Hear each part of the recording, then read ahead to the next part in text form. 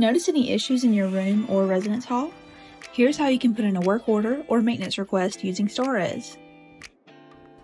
First, log into your StarRez account using your Georgia Tech credentials. After logging in, you'll see your StarRez dashboard. Look for the option Room Maintenance. If your request is urgent, follow the instructions listed below under Emergency Maintenance. For non-emergency related issues, there are three different requests you can choose from. For requests related to your room or shared spaces within your room, click on New Job below. Select either My Room or Shared Space from the Room category dropdown.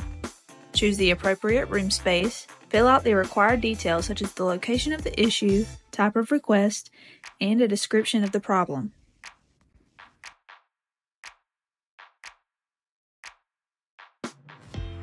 Once you've completed the form, review the details and click Submit to send your request. Great job! You'll receive a confirmation message acknowledging your request.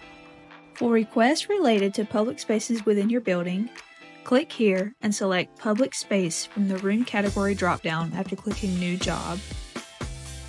Most non-emergency maintenance requests in the residence halls will be assessed within 24 hours of reporting it to the Housing and Residence Life Department of Facilities.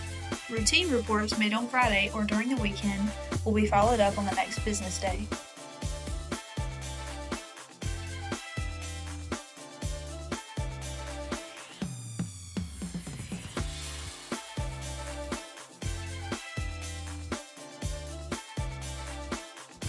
You can also upload photos or additional files to provide more information.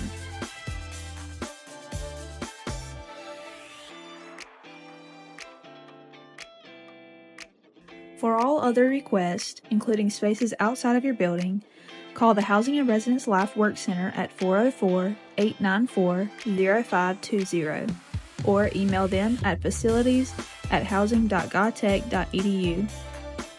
Inform your roommate and or suite mate about your submission to prevent duplicate requests for the same problem. Submit a separate request for each maintenance issue. And there you have it. Making a maintenance request on StarRez is simple and efficient. If you have any questions, don't hesitate to contact your area office or RA. Thanks for watching.